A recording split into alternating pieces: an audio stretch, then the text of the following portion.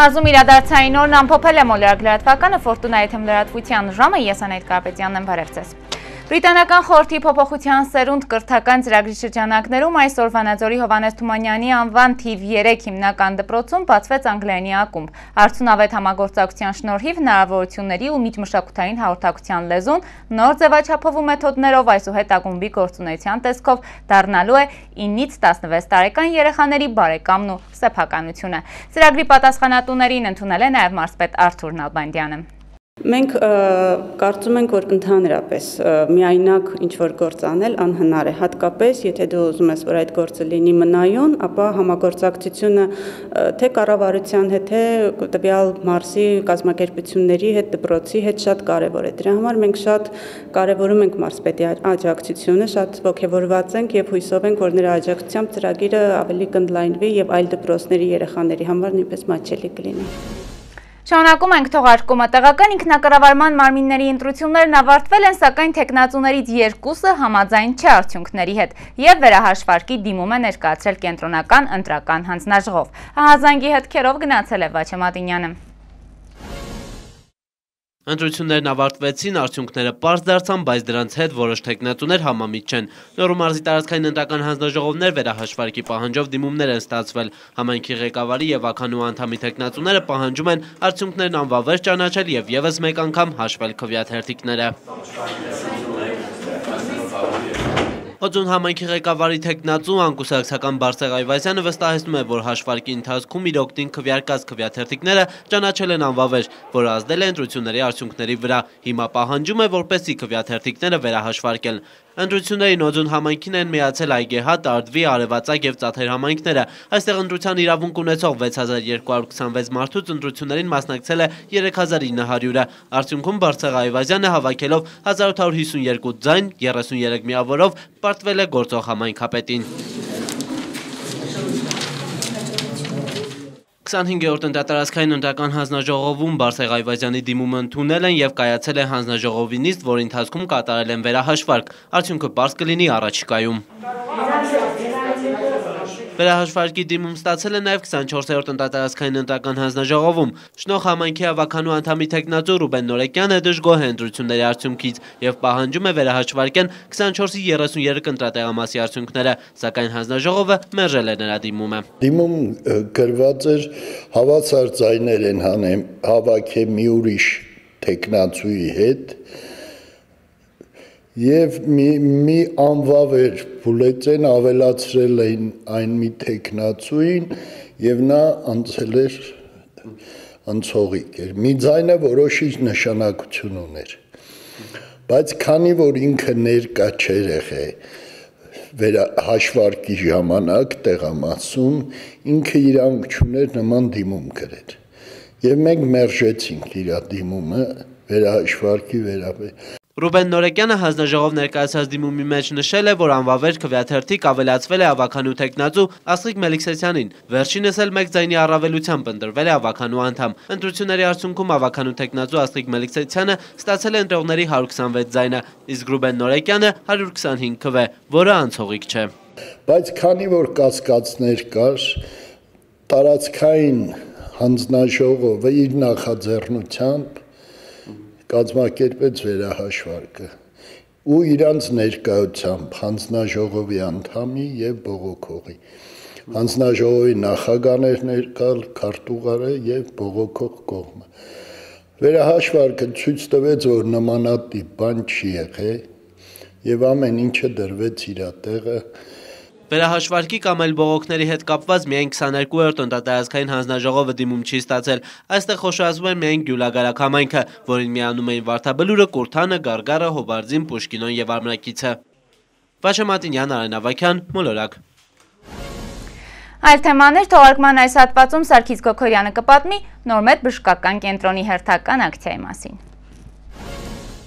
Հաշվի առնելով հասարակության արչև պատասխանատվությունը մշտապես նոր սարքավորումներով եւ բարձր որակավորում ունեցող անձնակազմով համալրվելու առաքելությունը Նորմետ բժշկական կենտրոնը իր այցելուներին մատուցում է հերթական անակնկալը։ Իթևս այլ ծառայությունների այստեղ կատարվում է նաեւ ծայրամասային եւ կենտրոնական վեստիբուլյար ախտահարումների ախտորոշում։ Այժմ հիշյալ ախտահարումներն առավել հեշտ են ախտորոշվում շնորհիվ Նորմետ բժշկական կենտրոնում արկա գերժամանակագից սարքավորումների։ Կենտրոնի ականջանի արդաբանության Պաշտպանության կաբինետը համալրվել է նոր եւ ժամանակագից ստանդարտներին համապատասխան սարքավորումներով։ Ականջանի արտաբանությունը ուսումնասիրում է մարդու լսողական եւ հավասարակշռական ֆունկցիայի խանգարման պատճառները։ Հետազոտությունն իրականացվում է գործիքային հետազոտությունների միջոցով, իսկ հավասարակշռության ֆունկցիայի գործիքային հետազոտությունը հնարավոր է իրականացնել միայն Նորմետ բժշկական կենտրոնում, որը միակն է ամբողջ Հայաստանում հագեցած համապատասխան ժամանակակից սարքավորումներով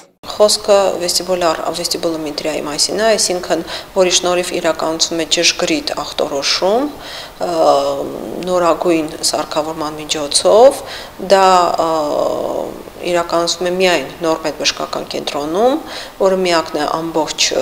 այդ սարքավորումը ամբողջ Հայաստանում։ Հանրապետությունում եզակի այս ծառայությունը վիդեոկոլոգրաֆիան ցավոտ պրոցեդուրա չէ եւ կատարվում է սկսած 12 տարեկանից։ Այն իր մեջ ներառում է հետևյալ տեստերը. հայացքով սահուն հետևելու, հայացքի ֆիքսման տեստ, սակադային եւ օպտոկինետիկ տեստեր։ Այս տեստերի օգնությամբ կարելի է բացահայտել կամ բացառել կենտրոնական նյարդային համակարգի պաթոլոգիայի պատճառով առաջացող խանգարումները, որոնց դեպքում առավել տարածված գանգատներն են գլխապտույտը, հավասարակշռության եւ կոորդինացիայի խանգարումները, լսողության անկումը, սրտխառնոցը, փսխումը եւ այլն։ Դա կոմպյուտերային է եւ օբյեկտիվ է, այսինքն այստեղ մարդու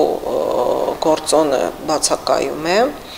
առաջինը, երկրորդը նա հեշտացնում է հետազոտությունը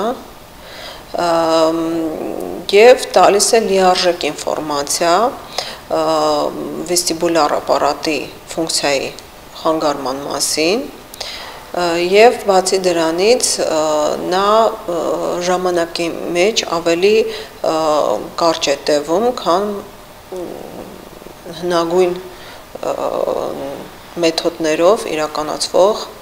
հավասարակշռական ֆունկցիայի հետազոտությունը Հիմնվելով հետազոտության տվյալների եւ ախտորոշման հիման վրա լսողական ֆունկցիայի խանգարման բուժումը կարող է իրականացվել կամ դեղորայքային կամ վիրահատական ճանապարհով, կախված հավասարակշռության ֆունկցիայի խանգարման տեսակից եւ ախտորոշումից։ Բուժումը կարող է իրականացվել նաեւ վերականգնողական հատուկ վարժությունների միջոցով, ինչը եւս կարելի է կատարել տեղում նորմետ բժշկական կենտրոնի ականջանի արտաբանության նորագույն սարքավորումներով համալրված կաբինետում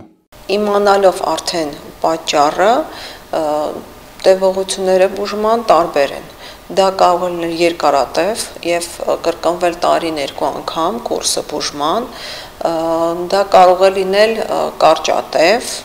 բուժման կոնսերվատիվ դեղորայքային նկատի ունեմ եւ կարող է լինել զուտ մի քանի ժամվա վարությունների շնորհիվ Նորմետ բժշկական կենտրոնը հավատարիմ իր որդեգրած սկզբունքներին մշտապես հոգում է նաև մարզաբնակ քաղաքացիների մասին։ Վերոնշյալ գանգատների դեպքում քաղաքացիները նախ կարող են դիմել Վանաձորում գործող Նորմետ բժշկական կենտրոնի մասնաճյուղ, որտեղ ըստ անհրաժեշտության տեղի մասնագետները տեսակապի միջոցով կապ կհաստատեն մայրաքաղաքի իրենց գործընկերների հետ, որից հետո միայն հարկ եղած դեպքում այցելուները կուղեգրվեն Նորմետի Երևանյան մասնաճյուղ։ Այս կերպ Նորմետ բժշկական կենտրոնի բուժանձնակազմը բացառում է այցելուների անհարկի տեղափոխությունը մայրաքաղաք, խնայելով այցելուների թե ժամանակը եւ թե ֆինանսական միջոցները։ Սարգիս Գոքորյան, Գոհար Մովսիսյան, Արեն Ավակյան, Մոլորակ, Երևան։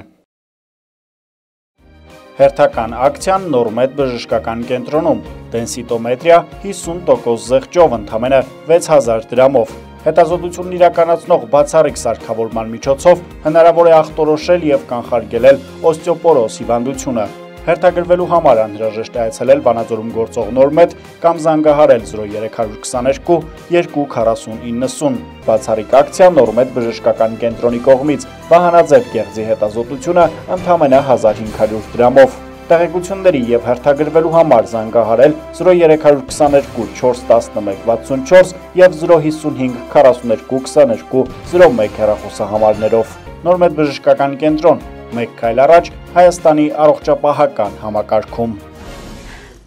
Տեղափոխվենք Տաշիր քաղաք, որտեղ գործող կարի արտադրամասն առաջարկում է 500 նոր աշխատատեղ, ֆաբրիկան հոգում է նաև տրանսպորտի հարցը։ Բացի դա, կառույցում կգործի նաև անվճար ճաշարան։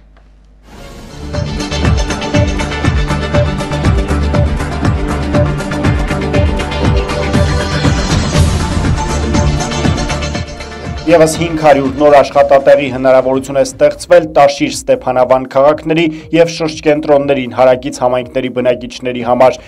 Տաշիրի կարի ֆաբրիկան շատ շուտով կունենա բոլորովին նոր առավել լավ պայմաններով եւ արդիական մասնաշենք, որը կապահովի ավելի մեծ թվով կանանց եւ աղջիկների զբաղվածություն, հաշվի առնելով համայնքներում աշխատատեղերի բացակայությունը եւ հատկապես կանանց զբաղվածության խնդիրը, ազգային ժողովի падգամավոր Կարեն Կարապետյանը ձեռնարկել է ֆաբրիկայի արդիականացման գործընթացը։ Կարի նոր արտադրամասը կունենա բոլորովին նոր ժամանակակից ձևարան, առավել հարմարավետ աշխատասեղաններ, խոհանոց, Այդուհանդերձ բացի դա կառույցը կշարունակի հոգալ համայնքներից տաշիր աշխատողների տրանսպորտի հարցը։ Տաշիր համայնքի եւ Ստեփանան համայնքի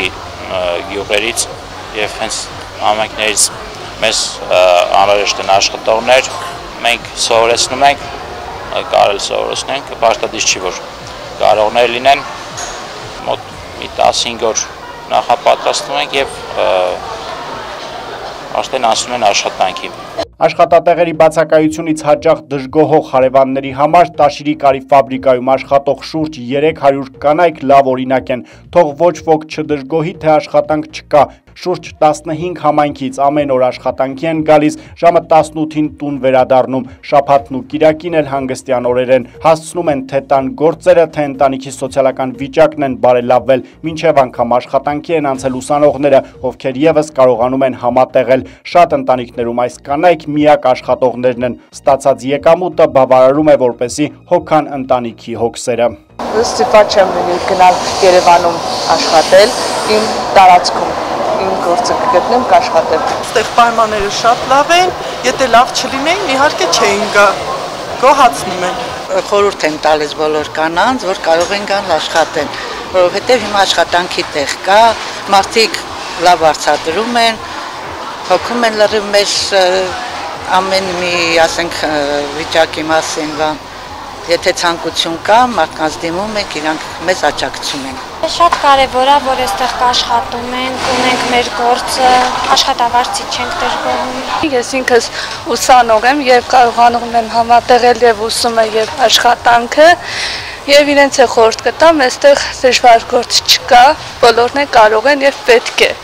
Տաշիրի կարի ֆաբրիկան տարածաշրջանում ամենախոշոր գործատուներից մեկն է։ Երկրորդ ֆաբրիկայի գործարկմամբ բազմաթիվ ընտանիքներում կլուծվեն կենսական նշանակության խնդիրներ։ Բոլոր նրանք, ովքեր ցանկանում են աշխատանքի անցնել կարի ֆաբրիկայում, կարող են զանգահարել 043 13 23 33 կամ 098 33 08 38 հեռախոսահամարներով։ Հնարավոր է դիմել նաև խմբերով։ Հոգ չէ անգամ աշխատանքին չտիրապետելը շատ կարճ ժամանակահատվածում այդ հարցն էլ տեղում լուծվում է, մնում է որոշում կայացնել եւ գործազրկությունից աշխատանքի անցնելը մեկ քայլ է։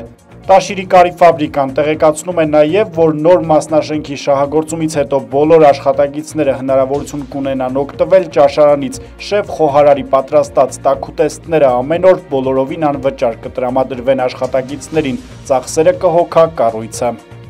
Սարգիս Գոկորյան, Արեն Ավակյան, Մոլորակ, Տաշիր։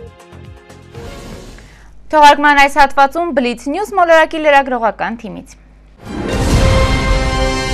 Եվրոմիության մաս հանդիսացող Եվրոգոտին դուրս է եկել մի քանի տարի շարունակվող ֆինանսատնտեսական ճգնաժամից։ Եվրոգոտու բոլոր երկրները Հունաստանից բացի տնտեսական աճ են գրանցել 2016 թվականին, 2017 եւ 18 թվականներին Եվրահանձնաժողովն արժութային միության բոլոր պետություններում տնտեսական աճ է ակնկալում։ Թուրքական Անտալիայի Դեմրեն շրջանի 40-ամյա բնակիչ Նուրի Բիրքչին իր տանայգում փորման աշխատանքներ կատարելիս հայտնաբերել է մի ամբողջ պատմական դամբարան։ Մասնագետները կարծում են, որ դամբարանը ունի ավելի քան 2400 տարվա պատմություն եւ պատկանում է Լիկիայի թագավորության ժամանակաշրջանին։ Սաուդյան Արաբիայի Պարսկարաբական ծոցի հարցերով պետական նախարար Սամել Արսափանը պաշտոնական Լիբանանը հայտարարելու է որպես իրեն պատերազմ հայտարարած պետություն, հավելելով, որ Լիբանանի կառավարությունը պետք է իմանա Սաուդյան Արաբիայի համար գրոհայինների ներկայացրած վտանգի մասին։ Գրոհայիններն առնչություն ունեն Սաուդյան Արաբիային սպառնացող բոլոր ահաբեկչություններին։ Ստամբուլում կալանավորված ԱՄՆ հյուպատոսարանի աշխատակցի դեմ քրեական գործի կամ ցանկացած այլ իրավական գործընթացի վերաբերյալ Թուրքիան ամերիկյան կողմին որևէ երաշխիք չի տրամադրել։ Այս մասին հայտարարել է Վաշինգտոնում Թուրքիայի դեսպանատունը։ Երևանյան հերանեկարներ փառատոնի շրջանակում հոկտեմբերի 7-ին հանդես է եկել քարեակի Կրեմի դափնեկիր սոպրանո Ռենե Ֆլեմինգը։ Նոյեմբերի 11-ին փառատոնը կներկայացնի դասական երաժշտության մեկ այլ գերաստրի, 9 անգամ Կրեմի ստացած Էմերսոն Լարային քարեակի։ Նոյեմբերի 11-ին ժամը 20:00-ին Հայաստանի Երկիպետական թատրոնում տեղի կունենա Ռուսլանի մենահամերգը։ Իդեպ երիտասարդ երգիչը հանրությանն առավել հայտնի դարձավ «Կյանք ու կռիվ» ֆիլմի սաունդթրեքի կատարմամբ, որը զուգերգ էր Արթուր Գրիգորյանի հետ։ Երկու ժամ տևողությամբ համերգի ընթացքում հնչելու է 22 երգ։ Ստամբուլում մեկնարկած գրքի 36-րդ միջազգային տոնավաճառի շրջանակում Թուրքիև այլազգի ընթերցողին հայոց ցեղասպանության, հայկական մշակույթի ու մեծանուն հայերի մասին պատմող գրքերը նույնպես տեղ են գտել տարբեր մասնակիցների տաղավարներում։ Հայկական թեմայով գրքերը ներկայացված են հայկական Արաս, թուրքական Իլեթեշիմ եւ Բելգե հրատարակչությունների սեղաններին։ Տոնավաճառում իր ոչ կոմերցիոն անկյունն է ներկայացրել նաև Ստամբուլի հայկական պարբերականների ծակոսը։ Ամերիկյան ազգային հերոստատեսային ակադեմիան, որը շնորհում է Էմի մրցանակը, իր շարքերից ընդմիշտ հեռացրել է պրոդյուսեր Հարվի Վայնշտեյնին։ Վերջերս մի շարք դերասանուհիներ մեղադրել են հայտնի ամերիկացի պրոդյուսեր Հարվի Վայնշտեյնի սեռական ոտնձգությունների համար։ Sony Pictures կինոընկերությունը որոշել է Կալիֆոռնիայում անցկացվելիք կինոփառատոնի ցուցադրությունից հանել ամերիկացի դերասան Քևին Սփեյսիի մասնակցությամբ Ռիդլի Սքոթի աշխարհի բոլոր փողերը ֆիլմը դերասանի նկատմամբ սեռական ոտնձգությունների մեղադրանքներից հետո։ Անցած շաբաթ դերասանի ներկայացուցիչը հայտնել է, որ Սփեյսին մտադիր է բուժում անցնել։ Ավելի ուշ հաղորդվել է, որ դերասանը ժամանել է ամերիկյան Արիզոնա նահանգ սեռական կախվածությունից բուժվելու համար։ Ֆրանսիա եւ Շվեյցարիայի կարգի պահապանները նոյեմբերի 7-ին 10-ից ավելի մարդ են ձերբակալել համատեղ հակահաղորդչական գործողության ընթացքում։ Ձերբակալվածները 18-ից մինչև 65 տարեկան են։ Նրանք պլանավորում էին ահաբեկչական գործողություն իրականացնել Ֆրանսիայի տարածքում։ Թուրքիայից արտագաղթող գիտնականների թիվը ռեկորդային ցուցանիշների է հասել անցյալ տարի տեղի ունեցած հեղաշրջման փորձից հետո։ Երկրում սկիզբ առած զանգվածային կադրային զտումներն ու մտավորական դասի հանդեպ գործադրած ճնշումը պատճառ են դարձել, որպեսզի մեկ տարում Թուրքիան լքեն մեծ թվով գիտնականներ։ Արցախի հանրապետության իշխանությունների հետ ձեռք բերված պայմանավորվածության համաձայն Արցախի եւ Ադրբեջանի զինված ուժերի շփման գծում ԵՀԿ պլանային դիտարկում է անցկացվելու Մարտակերտ քաղաքից դեպի հյուսիս։ Միացյալ Նահանգների նախագահ Դոնալդ Թրամփը դիմել է կոնգրեսին խնդրելով հյուսիսկորեական սպառնալիքի ֆոնին ավելացնել երկրի պաշտպանական բյուջեն։ Հավելյալ 4 միլիարդ դոլար է խնդրել հակահրթիռային համակարգերի պահպանման ու հյուսիսային Կորեայի ներկայացրած վտանգին դիմակայելու նպատակով։ Ինչ եղանակ սպասել բոլոր տեղեկություններին ծանոթ է Անի Անդրասյանը հերթի եղանակային կանխատեսումներինն է, իսկ մեր լազամբյուղն այսքանով սպարվեց։ Ես ես հրաժեշտ եմ տալիս և մաղթում հաջողություն։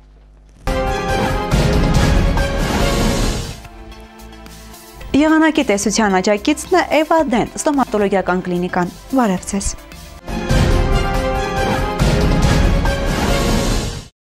Եղանակը հանրապետության տարածքում շարունակում է գտնվել անձրևային խոնավ դաշտում։ Նոյեմբերի 8-ից 10-ը շրջանների զգալի մասում սպասվում է անձրև։ 11-ից 12-ը սպասվում է առանց տեղումների եղանակ։ Կամին արևմտյան 3-ից 8 մետր վայրկյան արագությամբ։ Օդի ջերմաստիճանն աշճանաբար կնվազի 3-ից 4 աշճանով։ Դորու մարզում կպահպանվեն անձրևները բոլոր քաղաքներում։ Տաշիրում կդիտվի 4-ից մինչև 10 աստիճան տաքություն։ Արաբության անպամատության հետ ժամանակ առ ժամանակ կպահպանվի արևը, սակայն կեսօրից հետո եղանակը կդառնա բացարձակ անպամած։ Դրա հետ մեկտեղ երեկոյան կսկսվեն տեղումները։ Ալավերդիում կանխատեսվում է գիշերը 9 ցերեկը 13 աստիճան տաքություն։ Ամբողջ օրը կլինի անպամած, երեկոյան ավելի մռայլ, իսկ ուշ երեկոյան եւ գիշերը կդիտվեն տեղումներ։ Սպիտակում կգրանցվի 6-ից մինչև 14 աստիճան տաքություն։ Առավոտից մինչև երեկո երկինքը պատված կլինի ամպերով, կեսօրից հետո կսկսվեն նաև տեղումները եւ կշարունակվեն նաև գիշերը։ Ստեփանավանում ջերմաստիճանը կլինի գիշերը 5 ցերեկը 11 աստիճան։ Այստեղ նույնպես, ինչպես եւ Սպիտակում տեղումները կսկսվեն միայն կեսօրից հետո, բայց մինչ այդ կդիտվի անպամացություն։ Վանաձորում նոյեմբերի 8-ին կդիտվի 11-ից մինչև 18 աստիճան տաքություն։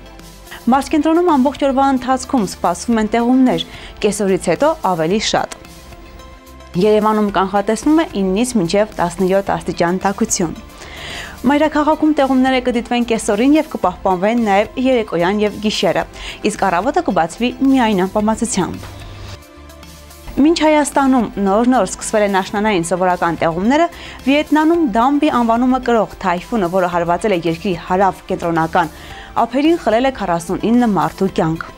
19 մարդ համարվում են անհայտ կորած, ավելի քան 116 բնակելի տներ վնասված են եւ փլուզված։ Թայֆունը հասել է Վիետնամ նոյեմբերի 4-ին, սակայն ինչպես զգուշացնում են տեղի իշխանությունները, իրավիճակն էլ ավելի կվատանա, քանի որ սպասվում են ուժեղ տեղումներ։